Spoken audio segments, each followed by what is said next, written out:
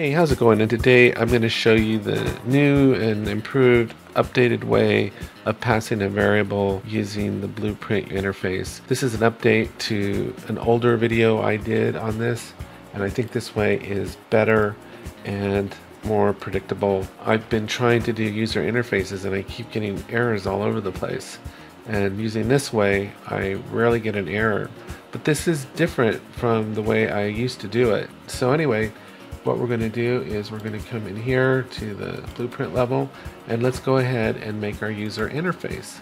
So we'll go to blueprints, user interface, and this does take practice. I'm just going to call this new interface and I'm going to call this super function. What's interesting about this is when I did the tutorial before, I said that you had to have the message on there, but this method doesn't require it to show the message. So on this, we can add inputs.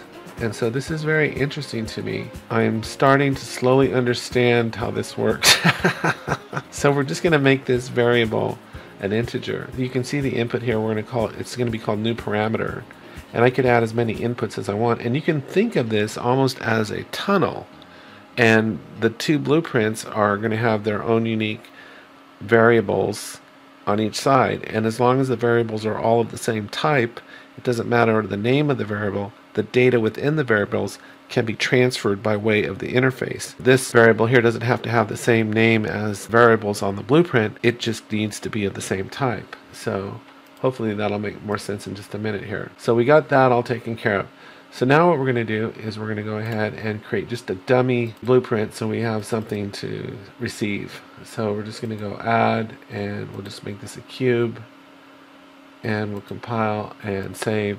And Remember that the receiving blueprint, that this is a one-way communication from one blueprint to another, from the third person in this case to a new blueprint, and the receiving blueprint has to have the interface enabled on it. So it has to be implemented on the receiving blueprint, not on the sending blueprint. So here we're just going to come in here and search for new interface, and it's right there. And then all we have to do is compile and save. And then what we can do once that's happened, we can create an event on here to receive the call from the sending blueprint. So we're just going to type in event and it's going to be our super function and see how it has a new parameter. So all I have to do here is just drag off of here and go print string and then put this into here and it'll auto convert the integer into a printable string. And that's all we're going to do for this new blueprint. So we can just drag this into the scene. Then all we have to do is on the BP third person, just create an event and then make a connection to the new blueprint, the new blueprint. Yeah, so we just need to make a connection to that. So we're going to right click and we're going to go keyboard event and it's going to be a 1. And then we need to make a variable to send our information in. So we're going to go just call this integer and we'll make it an integer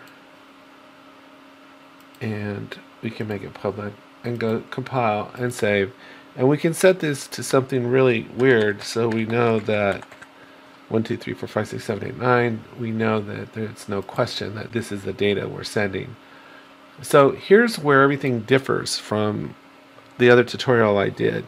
Before I've tried casting, I've tried blueprint references, but now what I do is I just right click and I go get actor of class. And what we're going to do is we're going to get our new blueprint.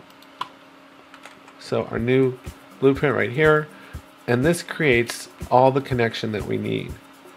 So if I plug this in here, now I can pull out of here and make a call to our super function. Call super function. And you'll see when I do, I have an input now for a variable. So now I just have to get this integer and plug it in.